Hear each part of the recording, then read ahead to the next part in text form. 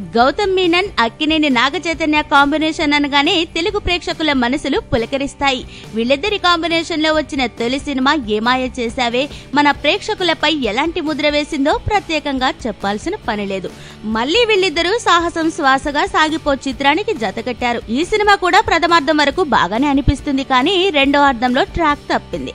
పెద్ద నోట్ల రద్దు టైంలో విడుదల కావడం ఈ సినిమాపై ప్రభావం చూపి చివరికిది ప్లాప్ అయి కూర్చుంది.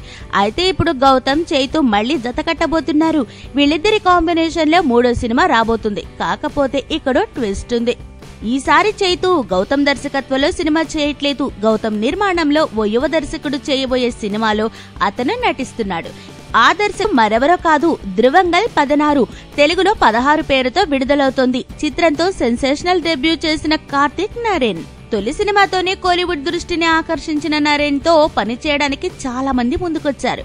అందులో గౌతమ్ మీనన్ కూడా ఒకడు. తన తొలి సినిమా తరహాలోనే ఇంకో రెండు థ్రిల్లర్లు తీయడానికి కార్తీక్ సన్నాహాలు చేసుకున్నాడు. అందులో భాగంగా చేయబోయే తర్వాతి సినిమాలో అరవింద్ స్వామి నాగ చైతన్య నటిస్తారు. ఇది ఒకేసారి తెలుగు తమిళ భాషల్లో తెరకెక్కుతుంది. ఈ చిత్రాన్ని కార్తీక్తో కలిసి గౌతమ్ నిర్మించబోతుండడం విశేషం.